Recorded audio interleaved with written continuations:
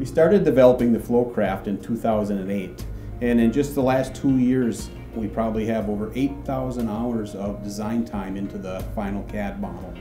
The importance of detailed drawings starts from the beginning. Uh, as far as CAD models, uh, good CAD models ensure that CNC cuts are correct and going into molds, uh, making sure that all details from the design intent are in the molds. And after the molds, we go into the build of the production, which ensures that all the components will fit correctly as designed and the build process will be very smooth.